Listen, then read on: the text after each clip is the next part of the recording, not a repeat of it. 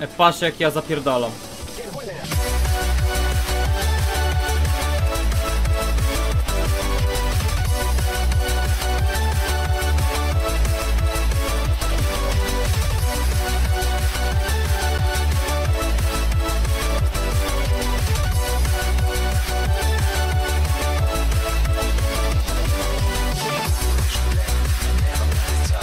Ha ha ha!